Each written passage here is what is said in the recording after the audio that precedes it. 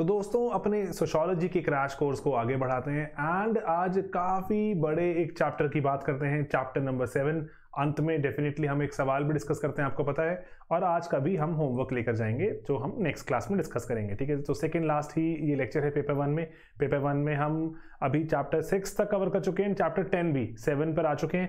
And politics and society बच्चे इसको जो पर्टिकुलरली जैसे क्या करते हैं बहुत ऊपर ऊपर से चैप्टर को देखकर जाते हैं। लेकिन हमने यूट्यूब पर भी काफ़ी एक्सटेंसिवली इसको कवर किया हुआ है। So, जो थियोरीज हैं पावर की पावर एलीट ब्यूरोक्रेसी है ना प्रेशर ग्रुप्स नेशन स्टेट छोटे छोटे देखो कितने सारे टॉपिक्स हैं बट डिटेल्ड टॉपिक्स हैं हमें देखने आने चाहिए। Protest agitation social movements collective action revolution ये क्या चीज़ें रहती हैं इसके बारे में हमें नॉलेज होनी चाहिए।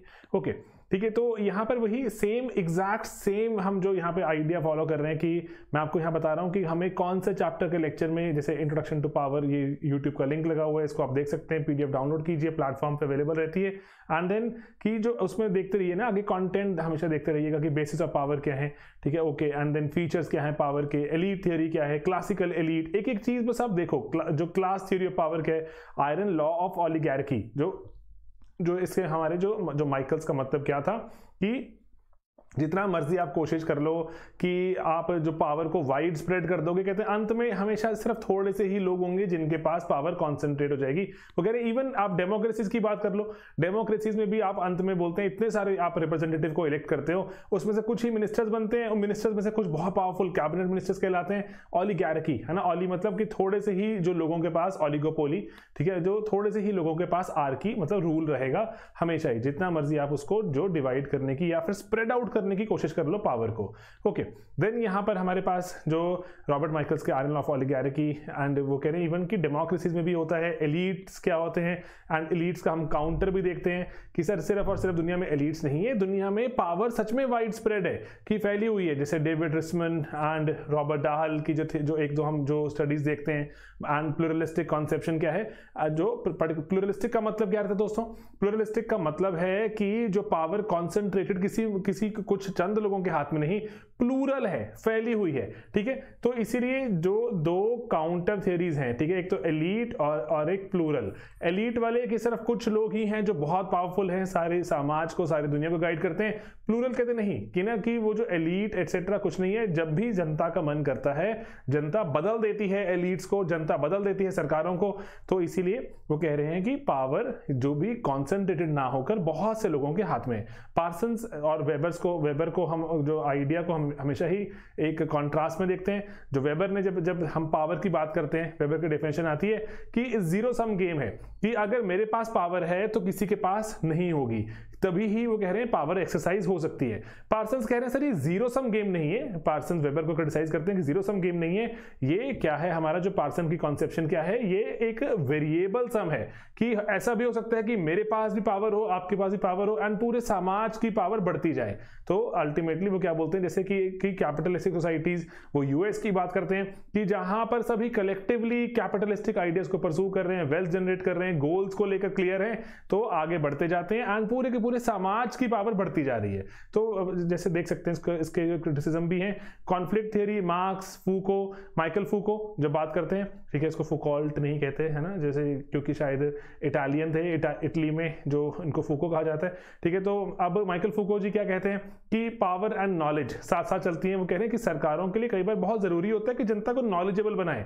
जनता को कहते हैं इग्नोरेंट रखना is not a very good strategy वो लोगों को नॉलेजेबल बनाते हैं। एंड कौन सी नॉलेज सरकारें स्प्रेड करती हैं, जो सरकारों की फेवर करें, जो सरकारों को, जो थोड़ा सा कंट्रोल जो सरकारों को, लोगों को कंट्रोल करने में मदद करें।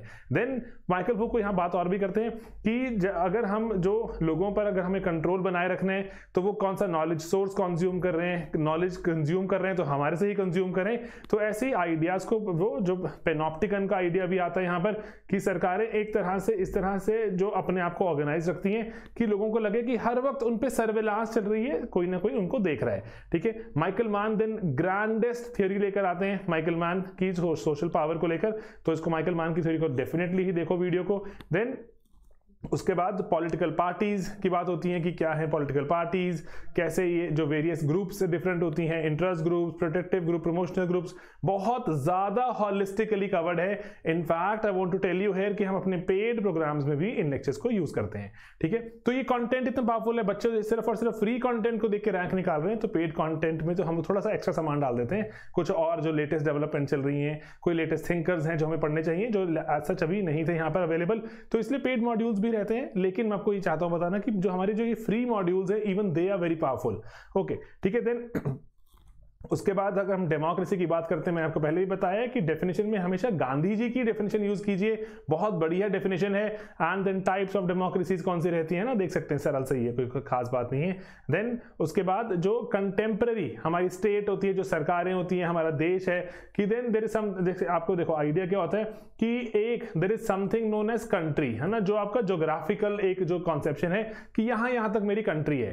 ठीक है देन कंट्री के बाद हम बोलते हैं कि particularly there is something known as nation nation मतलब कि हम सब एक फील करते हैं और एक जैसे हम उस कंट्री के अंदर चाहे, हो सकता है, हम जैसे एक कलेक्टिव एक फीलिंग है, एक वी फीलिंग है वी हम सब हैं, इकट्ठे। देन उसको जो जो रन करने के लिए गवर्न करने के लिए there is something known as state सरकार। ठीक है? तो इसीलिए कंट्री नेशन एंड स्टेट को थोड़ा सा आप समझें और क्या चीज़ है, क्या आइडियाज़ हैं, थोड़ा और डिटेल में जाएँ वेरियस थिंकर्स के बारे में जानें इंपॉर्टेंट चीज़ें इनकी थियोरीज कैसे रहती हैं एंड उसके बाद पर्टिकुलरली जो कि, जो कुछ कंटेम्प्रेरी आइडियाज़ कि हमारे आज के ज़माने में पर्टिकुलरली अगर हम देखें हमारी जो सरकारें कैसी, जो किस विचारधारा से चलती हैं एंड क्या क्या उनकी आइडियोलॉजीज हैं ग्रामसी क्या कहते हैं बॉब जैसब कहते हैं वर्क फेयर इकोनॉमी आ गई, वो कह रहे हैं कि वेलफेयर जो था पीछे रह गया वेलफेयर में अगर आप काम नहीं करेंगे, तब भी खाना मिलता रहेगा। वर्कफेयर में क्या होता है कि अगर खाना खाना है तो काम कीजिए, ठीक है? मनरेगा। मनरेगा में वो कह रहे हैं कि पैसे कमाने, सरकार पैसे दे देगी आपको जॉब दे देगी, लेकिन जॉब करनी पड़ेगी। आगे आके आपको सड़क बनाइए, या तो कुछ भी खड्डा खोदिए, कुछ भी कीजिए। काम कीजिए वर्क कीजिए फेयर मतलब वर्क फेयर होगा। वेलफेयर में थोड़ा सा जो जो फ्री थोड़ा टाइप फीलिंग थी, उससे कहते हैं आगे निकल गए। अभी वर्क फेयर की तरफ़ बढ़ चुके हैं। लुई ऑलथूजर निकोस जो पुलांजा नॉडलिंगर स्कॉच पॉल है ना, ये सभी चीज़ें आपकी वैसे गिवन है। सारी की सारी वैसे हरलंबस से ही हमने जो इसको एक्सटेंसिवली हरलंबस इग्नू, कुछ टॉपर्स के नोट्स भी हैं, वहाँ से एक्सटेंसिवली बोरो किया। ठीक है ग्लोबलाइजेशन इंपॉर्टेंट है पोस्ट कोविड वर्ल्ड में तो और इंपॉर्टेंट हो जाती है कि ग्लोबलाइजेशन के चलते ही कोविड इतना फैला। तो क्या वक्त आ गया है कि ग्लोबलाइजेशन खत्म करें? कि क्या वक्त आ गया है कि समाज ग्लोबलाइजेशन के बियॉन्ड कुछ चीज़ों को सोचे कि हम ग्लोबलाइजेशन की लिमिट्स आ चुकी हैं क्या? तो ऐसे अगर हमें उनकी थियोरीज पता होंगी वर्ल्ड पॉलिटिक्स के बारे में पता होगा तो हम बेहतर तरह से आंसर्स लिख पाएँगे। देन हम सिटीजनशिप की बात करते हैं कि हम सभी नागरिक तो हैं कि क्या हमारी ड्यूटीज़ हैं? कैसे सिटीजनशिप की एवोल्यूशन कैसे हुई? कहाँ शुरू हुआ आइडिया है ना? इन सब चीज़ों के बारे में यूपीएससी सवाल पूछता रहता है। नेशनलिज्म में अर्नस्ट जो गेलनर का आइडिया बहुत ज़्यादा इंपॉर्टेंट है। वेरियस तरह के नेशनलिज्म जो देखने को मिलते हैं हमें। नेशनलिज्म एंड ग्लोबलाइजेशन कैसे हैंड इन हैंड चल सकते हैं? इकोनॉमिक ग्लोबलाइजेशन प्राइवेटाइजेशन नेशन के साथ अगर हम देखें, एक बड़ा टॉपिक भी है ब्यूरोक्रेसी ठीक है? तो वहाँ पर आप ब्यूरोक्रेसी को भी देखें एंड देन कि रेवोल्यूशन इंपॉर्टेंट टॉपिक है, लेकिन बहुत साइड लाइन बच्चों को पता ही नहीं होता कहाँ से कवर करें। रेवोल्यूशन आप रैपिडली देखिए, कुछ थोड़े से आइडियाज़ हैं, आठ दस आइडियाज़ सिविल सोसाइटी क्या होती है? आप सब में, है ना? तो देखो, एक तो है बड़ी बड़ी जो देश है, सरकारें हैं हमारी, है ना? एक एक है हमारे ऊपर बैठा हुआ एक नेशन और एक बैठा हुआ है बहुत नीचे माइक्रोस्कोप में लगा के देखना पड़ता है इंडिविजुअल इन दोनों के बीच में भी कुछ है, इन दोनों के बीच में वो है जो बीच का level mid level that is known as what civil society ठीक है, वो है सिविल सोसाइटी तो वो एक इंडिविजुअल अगर मैं कुछ, हम थोड़े से लोग इकट्ठे हो जाएँ तो हम थोड़ा सरकार पे दबाव बना सकते हैं। हम लेट से मान लो कि हम रेजिडेंट वेलफेयर एसोसिएशन वाले हैं। अगर इकलौता इंसान को लग रहा है कि बहुत कूड़ा करकेट है यहाँ पर, शायद कुछ सुनेगा नहीं। लेकिन अगर हम थोड़े से इकट्ठे हो जाएँगे लोग, हम बोलेंगे, सर, यहाँ बहुत गंदगी है, सर, यहाँ पे बहुत एयर पॉल्यूशन है, कुछ कीजिए। शायद कुछ सुन ले, सरकारों तक बात पहुँच जाएगी। तो बहुत सारे इंडिविजुअल मिलकर बनाते हैं सिविल सोसाइटी एंड बहुत सारी सिविल सोसाइटी है जो हमारी पूरी कंप्लीटली मिल जाती है तो नेशन बन जाता है है ना? तो इसको आप समझेंगे और बेहतर तरह से आइडिया समझ आएगा। देन छोटे छोटे से माइन्यूट जो डिफरेंस वाले पॉइंट प्रोटेस्ट एजुकेशन में क्या फ़र्क है? सोशल मूवमेंट में कैसे तब्दील हो जाती है?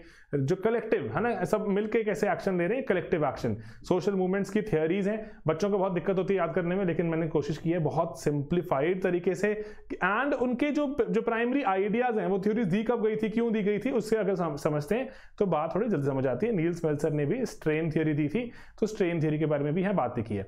ओके सरल शब्दों में बताऊँ तो हम जो नोट्स हैं, बहुत एक्सटेंसिव हैं, लेकिन अपने कंटेम्प्रेरी जो भी डिबेट चल रही हैं जो कोविड आ गया, चला गया, उसके कारण जो डिबेट चल रही हैं प्लीज़ उस पर ध्यान रखिए, ठीक है? एंड अकॉर्डिंगली अपने आप को अपग्रेड करते रहिए अप टू डेट करते रहिए। बाकी हर लंबस में चैप्टर नंबर नाइन है, जो वहाँ से हमने एक्सटेंसिवली जो ये कॉन्सेप्ट बॉलो किए हैं, आप उसको भी पढ़िए। ऐसे मैं आपको चाहता हूँ, यकीन दिलाना, ऐसी कोई भी चीज़ नहीं है। If I can do it you can do it ठीक है? अगर किसी और का रैंक आ सकता है, मेरा तो नहीं आया। किसी और का रैंक आ सकता है, आपका भी आ सकता है। तो प्लीज़ इस चीज़ों को जो अकॉर्डिंगली थोड़ा सा मज़बूत रखिए अपने जो जो दिमाग को। एंड जो पेपर क्रैक होते हैं। ओके देन क्वेश्चन जो चैप्टर सेवन का क्वेश्चन है कि जो हम नेक्स्ट क्लास में डिस्कस करेंगे क्वेश्चन कह रहा है explain democracy as an order of society ठीक है?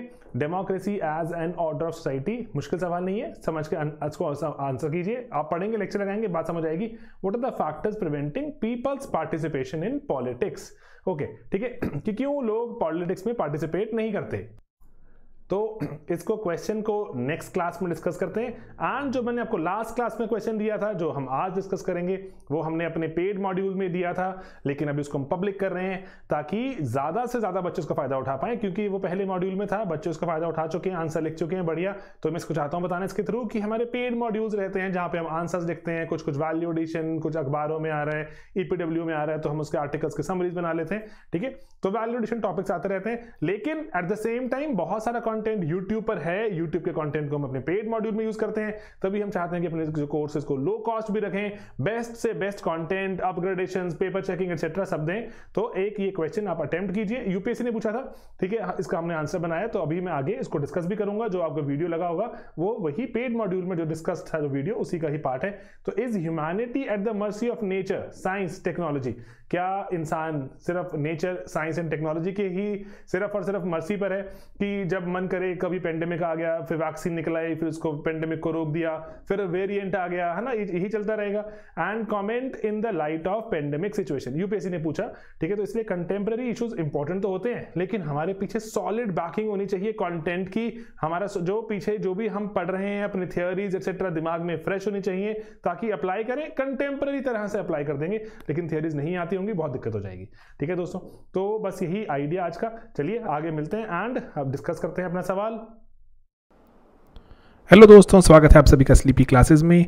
दोस्तों, एक बहुत ही बढ़िया क्वेश्चन यूपीएससी ने पूछा अभी रिसेंटली एंड ये क्वेश्चन ऐसा है कि जो एसए में ज़्यादा हमें देखने को मिलता है, इस तरह के क्वेश्चन एसेज एट्सेट्रा के टॉपिक रहते हैं। तो आप आने वाले टाइम में शायद कुछ जैसे वक्त बीतता जाएगा, थोड़ा कोविड के इतिहास और चला जाएगा पीछे तो शायद यूपीएससी दोबारा ऐसे क्वेश्चन को, ऐसे एसेज के टॉपिक को रिविजिट करें। ओके तो ये क्वेश्चन यहाँ पर देखते हैं कि वो कह रहे हैं कि क्या जो ह्यूमैनिटी है, वो मर्सी ऑफ़ नेचर है? ठीक है the mercy of nature science and technology की इसके अगर नेचर साइंस एंड टेक में अगर कुछ अगर अगर हम कुछ छेड़छाड़ होती है या फिर किसी तरह से कुछ बदलाव होता है तो ह्यूमैनिटी पर बहुत ज़्यादा प्रभाव पड़ता है। आपने पेंडेमिक सिचुएशन की लाइट पर बात करनी थी। ठीक है तो मल्टीपल तरह से इसको आंसर कर सकते हैं एंड लेकिन अगर हम थोड़ा सोशोलॉजिकली देख रहे हैं तो कुछ थिंकर्स के अगर यहाँ पर हम नाम ड्रॉप कर दें अगर तो थोड़ा आंसर और थोड़ा सोशोलॉजिकल हो जाता है। लेकिन उसके बियॉन्ड बहुत ही एक ओपन एक फ़ील्ड ओपन एक टर्फ है आपके लिए, जहाँ पर आप जाकर मल्टीपल तरह से इसको अटेम्प्ट कर सकते हैं ठीक है? तो एक जैसे जो एक ऑल्टरनेटिव जैसे यहाँ पे पहले एक स्ट्रक्चर देखते हैं। जैसे पहले आप ह्यूमन एंड नेचर का एक, एक रिलेशन बताइए। एंड कैसे उसने जो उस रिलेशन ने इम्पैक्ट किया हमारे जो इस रिलेशन ने नेचर को कंट्रोल करने के परस्पेक्टिव से कि हम नेचर को कंट्रोल करना शुरू कर दिया हमने साइंस एंड टेक के उसके जो यूजेज से। And then pandemic humanity nature कैसे ताल्लुक रखते हैं? पेंडेमिक को ही जन्म दे दिया इतनी बड़ी कोई चीज़ हो गई। और चलो मल्टीपल थियरीज हैं पेंडेमिक कैसे आया कैसे नहीं। लेकिन जो कुछ एक्सेप्टेड हम जो चीज़ों पर बात कर सकते हैं। एंड क्या हम करें फ्यूचर के लिए? हमारे पास क्या वे आउट है? ओके ठीक है, इसका ऑल्टरनेटिव एक स्ट्रक्चर भी हो सकता है, जहाँ पर आप बताएँ कि जो इंसानियत है, वो कैसे, जो जैसे काल मार्क्स एक्सेट्रा को आप जो नाम यूज़ कर सकते हैं, वो बोलते हैं कि ह्यूमन की जो प्रोग्रेस है ह्यूमन एंडेवर है, वो तो यही है कि कैसे वो नेचर पर कंट्रोल पाता रहा जैसे जैसे आगे बढ़ता रहा, ठीक है? एंड देन उसमें साइंस एंड टेक्निक कैसे मदद करी एटसेट्रा तो आप यहाँ बताइए कि सर, जैसे अभी नेचर एटसेट्रा को हम जो अगर ड्रॉप करें कि पेंडेमिक आया, सर रिसेंटली पेंडेमिक आने से हमारी जो कुछ तो ऐसे हमें समझ आई कि हमारी जो इम्पोर्टेंस जो मैनकाइंड की अगर ह्यूमैनिटी की अगर इंपॉर्टेंस देखें in the in the in the eyes of nature बहुत छोटी है, बहुत इनकॉन्सिक्वेंशल है, कभी भी वाइप आउट हो सकते हैं हम एंड ऐसे एक छोटे से हमें वायरस ने दिखा दिया, ठीक है पेंडेमिक देन लेकिन द सेम टाइम अगर नेचर वहाँ पर अगर अगर भारी हो गया at the same time science and tech भी एक्टिवेट हो गया वैक्सीन बना दी एंड वैक्सीन से अब इसको जो हम फिर से जो लड़ने की कोशिश कर रहे हैं एंड नॉर्मैलिटी रिस्टोर करने की कोशिश कर रहे हैं एंड लेकिन अल्टीमेटली कुछ वे आउट तो सजेस्ट करना ही पड़ेगा हमें कि कैसे आने वाले वक्त के लिए हमारे पास क्या लेसन हैं। ठीक है मल्टीपल तरह से आप इसको कर सकते हैं कि साइंस एंड टेक को भी आप दिखा सकते हैं कि साइंस एंड टेक ने भी आके हमें बचाया पेंडेमिक की वैक्सीन दी, थोड़ा आप वो दिखा सकते हैं, नहीं सर नेचर कभी भी कुछ भी कर सकती है। तो ओपन फ़ील्ड है अगेन आई रिपीट लेकिन मैं एक अटेम्प्ट करता हूँ आपको कुछ यहाँ पे कंटेंट देने की। थोड़ा स्ट्रक्चर्ड कंटेंट की कैसे हम बढ़िया आंसर बना सकते हैं ऐसे क्वेश्चंस का। ओके पहली बात तो है कि आप ह्यूमन और नेचर का कुछ रिलेशन बताएँ। अगर ह्यूमैनिटी के बारे में बात करें कि जनरली ऐसा लगता है कि कि ह्यूमैनिटी बहुत ज़्यादा कंट्रोल में आ गई है प्लानट के, लेकिन उसके बावजूद भी इवेंट्स ऐसे होते जा रहे हैं जो हमारे कंट्रोल के बिल्कुल बियॉन्ड हैं। रादर हमारे प्रेजेंस के कारण वो बढ़ते जा रहे हैं। आप जैसे ग्लोबल वार्मिंग के कारण आप लिख सकते हैं ना, जैसे हरिकेन्स आ रहे हैं, दुनिया के मोस्ट डेवलप्ड पार्ट्स में बहुत तबाही मचाते हैं। जैसे चाहे यूएस के आप जो हरिकेन्स की बात कीजिए, जो सुनामीज आई, जापान में इतने सारे लोग और इतनी प्रॉपर्टी वहाँ पर खराब हो गई तो आप उसकी बात कर सकते हैं। लेकिन आप कार्ल मार्क्स के अगर नाम लिखें कार्ल मार्क्स भी कह रहे हैं कि ह्यूमैनिटी की कंटिन्यूस जो मार्च है कंटिन्यूस जो प्रोग्रेस है, वो इसी तरह से है कि वो नेचर को ही कंट्रोल करती चली गई। एंड इसीलिए जो यहाँ पर हमें ऐसे एज मार्क्स लिखते नहीं कहीं पर, लेकिन अगर हम मार्क्स का थोड़ा बायस देखें मार्क्स का थोड़ा बायस इंडस्ट्रियलाइजेशन की तरफ़ नज़र आता है कि मैन के इंसानियत के बेनिफिट के लिए नेचर को हम थोड़ा सोर्स मान सकते हैं कि नेचर से अगर हम थोड़ा सामान डिराइव करें तो जो ह्यूमैनिटी का फ़ायदा हो सकता है। ओके तो यहाँ बैलेंस आउट करना है, नहीं करना है, वो सेपरेट स्टोरी हो जाएगी, लेकिन वो नेचर को चाह रहे हैं कहीं ना कहीं एक्सप्लॉयट करना for the benefit of humanity okay तो रेचल कार्स कार्लसन आप इनको हमेशा ही, हमेशा मेंशन कीजिए। साइलेंट स्प्रिंग इन्होंने एक शॉर्ट ऐसे लिखा था, बहुत ही बढ़िया ऐसे आप इसको पढ़ सकते हैं ऑनलाइन अवेलेबल है। तो एक हाइपोथेटिकल स्टोरी लिखती है वहाँ पर वो कि कैसे जो, अगर आपको मैं क्विकली समझाता हूँ एसेज में बहुत काम आती है। तो जो साइलेंट स्प्रिंग में जैसे वो बताते हैं कि कैसे उनका बचपन में वहाँ पे बहुत सारी जो स्पैरोज हुआ करती थी और बहुत सारे अलग अलग तरह के जो पंछियों के बारे में लिखती हैं एंड कैसे एक नई तरह का एक कुछ वाइट कलर का कोई कोई ऐसे कोई बताती हैं कि एक पाउडर आया एंड सब कुछ गायब हो गया। और ना तो अब ये कहते हैं कि जो यहाँ पर नदी बह रही है, लेकिन नदी बिल्कुल साइलेंट है। और जो जो स्प्रिंग भी आया, कोई पंछी नहीं आए लेकिन। तो वो बात कर रही होती हैं, उस वक्त तो डीडीटी की बात कर रही होती हैं कि कैसे एक जो सिर्फ़ छिड़काव हुआ कुछ इंसेक्ट्स को मारने के लिए, सारे का सारा इकोसिस्टम ही प्रभावित हो गया। हाइपोथेटिकल लिखती हैं, लेकिन हमें रियल वर्ल्ड की जैसे नज़र आता है, बहुत ही बढ़िया एक जो पूरी की पूरी जैसे ऐसे था कि दुनिया को हिला के रख दिया, ऐसा ऐसा एक, ऐसे था। साइलेंट स्प्रिंग आप पढ़िएगा कभी, ठीक है? तो उसने जैसे बहुत सारे जो अमेरिकन को और जो, और उस वक्त के जो एरा के लोग थे, उनको भी बहुत प्रभावित किया और कि किस तरह से जो टेक्नोलॉजी है, वो बहुत सारी प्रॉब्लम्स को, चलो डेफिनेटली सॉल्व कर रही है, लेकिन प्रॉब्लम्स भी क्रिएट कर रही है। टेक्नोलॉजी हम आगे आगे बढ़ाते जा रहे हैं तो वो सॉल्वर भी है, लेकिन क्रिएटर भी है ऑफ़ वेरियस इशूज तो ये वाली एक चीज़ देख सकते हैं। एंड लेकिन आप बता सकते हैं, सर, लेकिन आज भी अगर हमारे सामने कोई दिक्कत आती है, चाहे वो ग्लोबल वार्मिंग होती है, किसी भी तरह की कोई, जैसे हमारे अगर वाटर टेबल रिसीड कर गया वाटर टेबल पोल्यूटेड हो गया, हवा पानी पोल्यूट हो गया कुछ भी हो गया तो आप कहते हैं कि ठीक है, ये प्रॉब्लम क्रिएट अगर टेक्नोलॉजी ने करी है तो इसको टेक्नोलॉजी ही सॉल्व कर देगी। ठीक, जैसे हमें सोलर जो हमें पैनल्स लगवाने चाहिए टेक्नोलॉजी डेवलप हो रही है विंड पैनल एक्सेट्रा हम अपने लाइफस्टाइल को चेंज करने के बारे में बहुत ही कम ध्यान देते हैं। लाइफस्टाइल तो इंक्रीजिंगली और एनर्जी ओरिएंटेड होता जा रहा है, ठीक है? उसमें हम बदलाव होने की कोई बात नहीं हमें नज़र आती, ना ही कोई साइन नज़र आता है। एट द सेम टाइम हम और टेक्नोलॉजी लेकर आ रहे हैं to solve the problem of technology okay ठीक है? तो यहाँ पे ना कुछ हमें अगर इन लाइन्स पर डेवलप करें, आप कुछ एक दो नाम और डाल सकते हैं। चैप्टर टू में आपको शायद याद हो, हमने अडोर्नो का नाम भी देखा था। वो भी, वो कह रहे हैं कि शुरुआत में वैसे अगर अडोर्नो की अगर आप इतिहास पढ़ें। अडोर्नो का इतिहास भी ऐसे है, वो ना बहुत ज़्यादा टेक्नोलॉजी टेक्नोलॉजी करते रहते थे लाइफ में कि सभी मैनकाइंड की प्रॉब्लम सॉल्व कर सकती है टेक्नोलॉजी लेकिन टुवर्ड्स जैसे जो later part of his life वो स्ट्रिक्टली अगेंस्ट हो गए थे साइंस एंड टेक उनको लग रहा था जितनी डिस्ट्रक्शन कॉज हुई है इंसानियत के साथ, चाहे वो जो वर्ल्ड वॉर्स वगैरह कुछ भी हुआ, जो बड़े बड़े बॉम्ब्स बनने शुरू हो गए थे कोल्ड वॉर तो वो कह रहे हैं कि टेक्नोलॉजी तो बर्बाद करने पर आ गई है इंसानियत को। एंड काफ़ी एंटी स्टैंड ले लिया था उन्होंने अगेंस्ट टेक्नोलॉजी का, जो फ़ायदे के उनको नज़र ही नहीं आते थे, सिर्फ़ नुकसान। तो अडोर्नो को तो आप हमेशा ही एंटी टेक्नोलॉजी कोट कर सकते हैं। लेटर पार्ट ऑफ़ लाइफ तो उन्होंने इसी पर डेडिकेट किया। ओके ठीक है तो यहाँ पे ना आपने मैन एंड जो मतलब मैन में तो टेक्नोलॉजी साइंस की बात ही होगी नेचर का कुछ ताल्लुकात दिखाएँ कि फ़ायदे भी होते हैं, नुकसान भी होते हैं। अब जो उससे हुआ क्या? हमने जैसे एक अर्थ डे नामक एक चीज़ निकाली, जैसे अगर आपको पता हो जीएस में पढ़ते भी हैं कि अर्थ डे में हम थोड़ा ऑब्ज़र्व करते हैं, कुछ हम जो एक घंटा की लाइट भी बंद कर देते हैं एक्सेट्रा ताकि थोड़ा कि हम नेचर को हेल्प कर पाएँ, कुछ बिजली बचे के एक्सेट्रा थोड़ा लोगों को अवेयर कर पाएँ। बड़े लेवल पर इवेंट है ना? कि क्यों? क्यों बचानी अर्थ क्योंकि ख़राब हो रही है है ना? ओके विलिस कैरियर का नाम डाल सकते हैं कि जैसे कि आप ना, जैसे वो कह रहे हैं कि आप ना जो भी, जब तक प्रॉब्लम्स क्वांटिफाई नहीं हो जाती, तब तक हम उन पर एक्शन नहीं ले सकते। क्वांटिफिकेशन ज़रूरी है। और वो कह रहे हैं, जब तक हम लोगों को समझा नहीं पाएँगे कि कितना बड़ा एक्सटेंट हो रहा है, इतना डैमेज हो रहा है, तब तक लोगों को समझ नहीं आएगा। बोलेंगे ना कि जो प्लानट वार्म हो रहा है तो कहेंगे ओके हो रहा होगा। कहेंगे प्लानट वार्म हो रहा है बाई थ्री डिग्रीज एंड उससे पानी बढ़ेगा इतना, उससे ये ये शहर डूब जाएँगे। इतने सारे लोग मारे जाएँगे और जो वाटर टेबल ऐसा हो जाएगा, वैसा हो जाएगा। तो लोगों को बात समझ आएगी अदरवाइज़ वगैरह कह रहे हैं अगर आप क्वालिटेटिव बात करते रहते हो, लोगों को बहुत कम समझ आता है। ओके तो हम, अभी हम ना जैसे, मैं आपको इसलिए ब्रॉडर कंटेंट दे रहा हूँ, हम इसमें एंड में पिक एंड चूज़ करके अच्छा आंसर बना सकते हैं। एंड देन क्योंकि एक ऐसा टॉपिक है, मुझे लगता है इस पर ना बहुत टाइम तक सवाल आते ही रहे, आते रहेंगे, और क्योंकि बदलाव होता जा रहा है ना हमारे जलवायु में तो ये होगा। ठीक? है तो अब कुछ आर्ग्यूमेंट्स हैं, जो हमारे ह्यूमन जो एंडेवर को, जो नेचर को कंट्रोल करने के एंडेवर को, थोड़ा इम्पैक्ट को बताते हैं हमें। ओके जैसे सबसे पहला वो कह रहे हैं, जो जो टेक्नोलॉजी का जो इंपॉर्टेंट एक जो पर्पज़ रहता है, वो क्या रहता है कि एक्सप्लॉयट कंट्रोल और या फिर इम्प्रूव किया जाए नेचर को। एंड उससे हो क्या रहे कि जनरली हम लॉन्ग टर्म में देखते हैं, जैसे आप दोस्तों कुछ भी अगर आप इमेजिन कीजिए, आप देख सकते हैं, जैसे प्लास्टिक का जो जन्म हुआ कि हम मेटल के लिए हमें बहुत जैसे चीज़ों को खोदना पड़ता है एक्सेट्रा क्या करें कि हमें ऐसी कोई चीज़ चाहिए, जैसे मान लीजिए कोई बर्तन बन जाए, गाड़ियाँ बन जाएँ, है ना, ऐसे बहुत सारी जो जो चीज़ें बन जाएँ प्लास्टिक का जन्म हुआ। ओके प्लास्टिक के अभी हम देखते हैं, इतने दुष्प्रभाव खत्म ही नहीं होने को आ रहे। देन ओके उसके बाद आप देखिए, जैसे टेली कम्युनिकेशन आप ना नाम लीजिए, मैं तो बहुत बार बात करता हूँ इस पर, कि हमें लगा कि सारी दुनिया की प्रॉब्लम सॉल्व हो जाएँगी टेली कम्युनिकेशन से, बहुत सारी चीज़ें इंटरनेट एक्सेट्रा तो हमने देखा उसका दुष्प्रभाव, जो वेव्स हैं, हमारी रेडियो वेव्स उससे कितने सारे जो बर्ड्स के नेस्ट वगैरह बर्ड्स के एग शेल्स एक्सेट्रा जो डिस्ट्रॉय हो जाते हैं। एंड उनकी आबादी पर फ़र्क पड़ा, जो हाउस स्पायरो तो गायब ही हो गई, क्योंकि शहरों में जो रेडियो वेव्स काफ़ी ज़्यादा रहती हैं।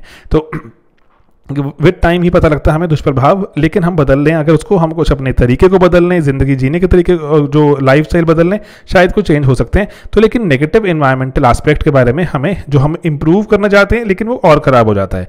ओके देन दोस्तों, उसके बाद अगर हम देखें कि जो हमारे जो जो हमारे आसपास जो हमने, अगर हमने, अगर आबादी बढ़ी तो आबादी बढ़ने से हमारी प्रोडक्शन बढ़ी तो उससे जो वो स्टैंडर्ड है ना water air animal diversity soil diversity सब पर इम्पैक्ट पड़ना शुरू हुआ।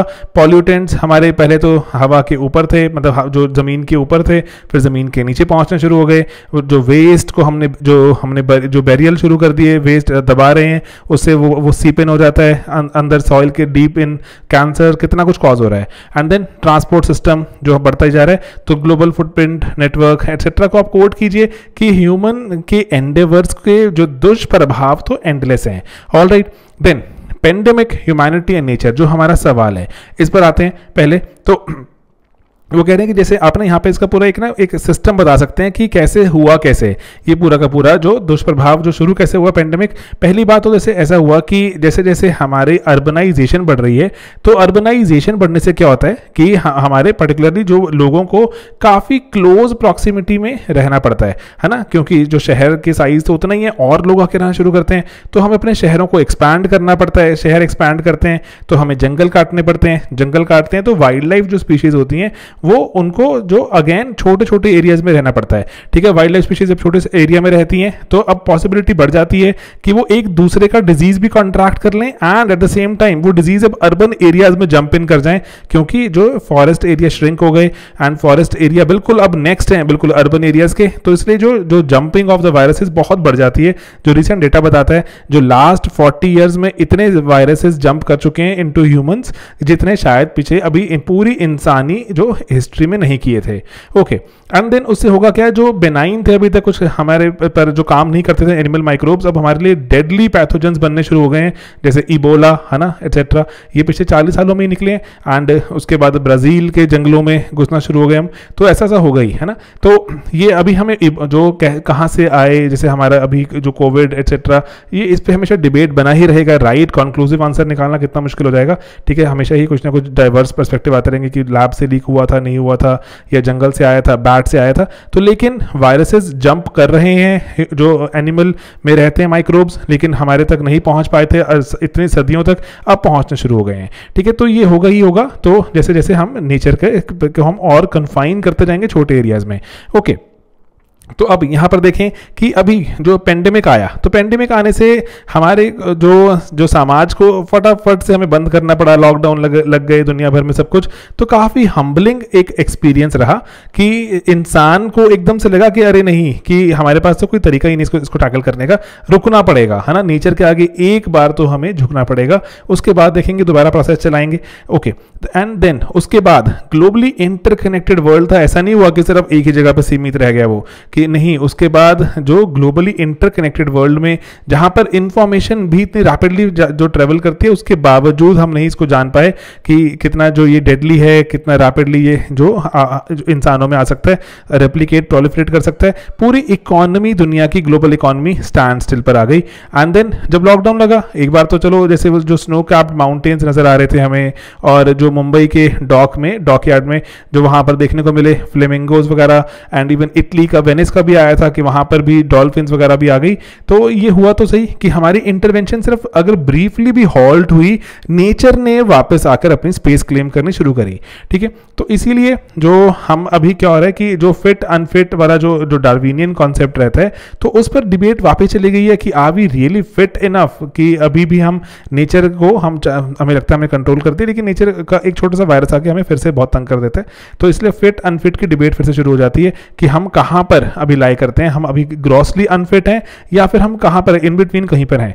ओके वो कह रहे हैं कि साइंस ने लॉन्जिविटी हमारी चाहे लाइफ की बढ़ा दी हो, लेकिन उसके बावजूद भी ऐसे इवेंट्स हो जाते हैं suddenly life is cut short like it never existed है ना, एकदम से। और जो लोगों को इम्पैक्ट करती है, और उसके बाद जो अब क्लाइमेट क्लामिटीज़ है ना, हम सिर्फ़ बोले कि पेंडेमिक है पेंडेमिक ने हमें समझाया, लेकिन उसके बाद भी अभी ख़त्म नहीं होती चीज़ें, अभी तो क्लाइमेट क्लामिटीज़ शुरू हुई हैं।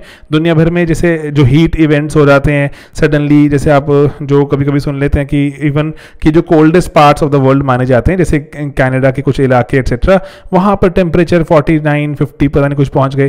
तो ऐसी ऐसी चीज़ें जब हो जाती हैं तो हमें लगता है कि हाँ कि कुछ तो बदलाव हो रहा है और बहुत रैपिडली हो रहा है। ह्यूमंस को उससे बहुत ज़्यादा फ़र्क पड़ने वाला है। सबको फ़र्क पड़ेगा, लेकिन हमें अगर हम बात करें कि हमें फ़र्क नहीं पड़ेगा, बाकी सबको पड़ेगा, नहीं, ऐसा नहीं हमें पड़ेगा, ठीक है? तो इसलिए हमें पता लगता है कि हमारा जो भी अभी हमारे पास जितने भी हथियार हैं टैकल करने के लिए बहुत ही इनएडिक्वेट हैं और अभी हम कहीं आसपास भी नहीं है। जो पेंडेमिक ने हमें बताया नेचर के सामने साइंस एंड टेक ठीक है? तो इसीलिए हम क्या करें? यहाँ पर जो सस्टेनेबल जो यू है सस्टेनेबल डेवलपमेंट जो गोल्स की बात करें तो यू जो संस्था भी रहती है, वो भी कह रही है कि हमें फ्यूचर जनरेशन के लिए हमें अगर रिसोर्सेज बचाने हैं और हमें अपनी आप की जो प्लानट को भी अगर लेट से फिट फॉर लिविंग रखना है तो हमें बदलाव, जो नेचुरल इकोसिस्टम एक्सेट्रा में जो बदलाव हो रहे हैं, उनको रोकना होगा एंड अपने आप जो बहुत सारे जो गोल्स कुछ बोलते हैं, हमें अचीव करने होंगे। अब हम मार्क्स की बात करें मार्क्स के साथ साथ जो एंगल्स भी लिखते हैं कि हमें नेचर पर डिपेंडेंस तो है, इसलिए हमें नेचर से बहुत कुछ सीखना भी पड़ेगा। बहुत ही बढ़िया जैसे कुछ लाइन है तो यहाँ पे आपके लिए मैंने लगा दी, ठीक है, कि every step we are reminded that we by no means rule over nature ठीक है, हम कोई कॉन्करर नहीं है जाके हमने जीत लिया किसी को। एंड बट लेकिन हम but we with flesh blood and brain belong to the nature हम नेचर के बीच में ही जो जीवित रहते हैं। एंड जितने भी हम, जो हमें लगता है कि हमने मास्टरी एक्सेट्रा कर लिए नेचर के सामने हमें अगेन बार बार हमें हम्बल होना पड़ता है। ओके ठीक है? तो 1920 में जो आया था को, जैसे जो 1919 18 19 20 में जब लास्ट जब हमारा पेंडेमिक हुआ, उसके जो सौ साल बाद फिर से जो हमारा अभी पेंडेमिक हुआ तो हमें एक बात तो समझ आ रही है कि हंड्रेड ईयर्स आफ्टरवर्ड काफ़ी साइंस प्रोग्रेस हो गई है। एक साल में वैक्सीन बना ली गई है। तो लेकिन उसके बावजूद भी दुनिया रुक जाती है। लोग बहुत से मारे जाते हैं। चाहे आप मिस गवर्नेंस पर डाल दीजिए उसको ग्लोबली इंटरकनेक्टेड वर्ल्ड पर डाल डाल दीजिए उसको इंफॉर्मेशन शेयरिंग मिस शेयरिंग पर डाल दीजिए उसको। लेकिन आज भी हम बहुत ज़्यादा वर्नरेबल हैं। एकदम से पता लगता है कि जो हेल्दी इंसान is is just no more ठीक है? तो इसीलिए हमें, जो हमें क्या करना है कि हमें नेचर को बुलडोज ना करते हुए नेचर की हार्मनी के साथ हमें एग्जिस्ट करना है। एंड आप एक काम कर सकते हैं, जैसे अभिजीत पाठक हैं, जैसे जो कोविड था, जब कोविड के आसपास even during the COVID afterwards भी, उन्होंने एक्सटेंसिवली एंड उनका जो लिखने का जो तरीका है, वो बहुत ही फिलोसॉफिकल आस्पेक्ट है। Abhijit Pathak is is a professor in JNU and बहुत ही बढ़िया जो जो उनका परस्पेक्टिव रहता है फिलोसॉफिकल आस्पेक्ट एसेज के लिए, आपको जो थॉट प्रोसेस को रिफाइन करने के लिए, इनके पास बहुत बढ़िया कंटेंट रहते हैं, इनको डेफिनेटली पढ़िए। ठीक है तो एक बार मैं इसको रिवाइज करता हूँ एंड थोड़ा क्वेश्चन के हिसाब से चलते हैं, कि वो कह रहे हैं कि ह्यूमैनिटी क्या मर्सी पर है नेचर साइंस एंड टेक के पेंडेमिक की सिचुएशन के हिसाब से बताइए। ओके पहले आप बताएँगे कि यहाँ पर जो कि ह्यूमन ने नेचर का, का ताल्लुकात क्या रहा कि ह्यूमन बहुत टाइम से मार्क्स एक्सेट्रा को कोड करके लिख सकते हैं। नेचर को चाह रहे हैं कॉन्कर करना यूज़ करना अपने भले के लिए लेकिन बहुत सारे इशूज़ भी क्रिएट हो जाते हैं। साइंस एंड टेक ने हमें मदद करी लेकिन साइंस एंड टेक ने हमें बहुत सारे प्रॉब्लम्स में भी डाल दिया। ठीक है आप यहाँ पे कुछ कुछ चीज़ों के नाम लिख सकते हैं एंड क्रिटिकल एग्जामिनेशन भी कर सकते हैं। चाहे आप जो साइलेंट स्प्रिंग की बात कीजिए चाहे अडोर्नो का नाम लिखिए, ठीक है? ओके देन हम बोलें कि हमारे जो पूरे के पूरे जो पर्पज़ हैं, आप बहुत सारे प्रॉब्लम्स हैं, इसके नाम लिख सकते हैं। लेकिन अगर हम देखें पेंडेमिक की बात करें तो पेंडेमिक ने हमें बिल्कुल रोक दिया ग्लोबली इंटरकनेक्टेड वर्ल्ड था, उसको भी रोक दिया। एंड लेकिन हमें रुकने से पता लगा कि नेचर वापस आता है, अपनी स्पेस रिक्लेम करता है। एंड फिट और अनफिट में हम शायद अनफिट नज़र आए बहुत ज़्यादा।